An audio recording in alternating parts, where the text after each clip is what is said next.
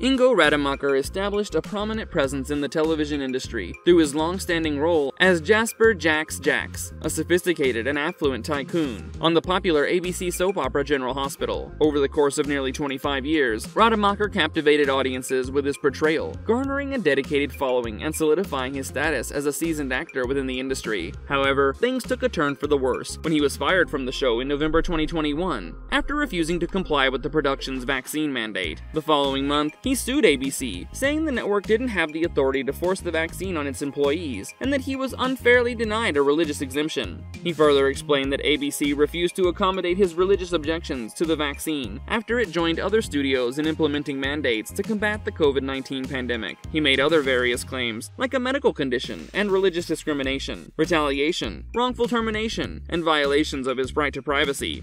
At the time, ABC's parent company Disney had one of the strictest vaccine mandates of any Hollywood studio and most major corporations, but has since dropped all its COVID 19 vaccine requirements. The actor's attorney filed a complaint in LA's Superior Court, which read ABC's actions are blatantly unlawful. ABC does not have the authority to force a medical treatment on its employees against their will. These actions constitute religious discrimination and violate Mr. Rademacher's rights under state and federal law.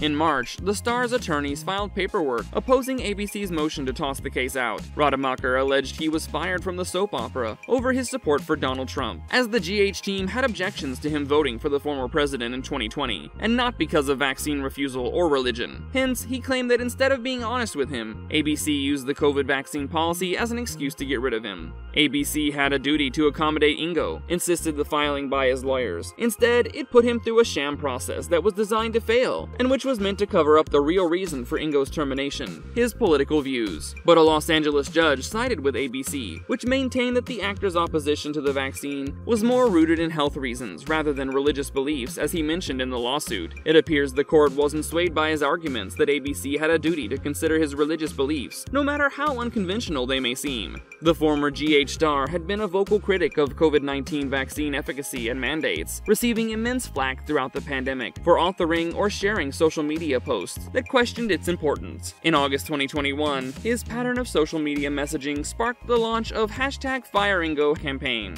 In response, the TV personality dropped an Instagram video in which he called hashtag FireIngo supporters bigots. If you want to take the vaccine, take it. Just know you're doing it for yourself, not to save anyone else, he slammed back. The 52 year old also drew fire in 2021 for a retweet to transgender castmate Cassandra James. I don't think it's okay to call a transgender an empowered woman because where does that leave women? He proclaimed. Nevertheless, he later sought forgiveness from his former co star, saying, I apologize to you sincerely. I think you're an absolute talent, and you're very beautiful as well. I don't think a transphobic man would say that. I think you're absolutely gorgeous. I really do. Thank you for watching our video. Don't forget to like, share, and comment. Subscribe to our channel for more great content.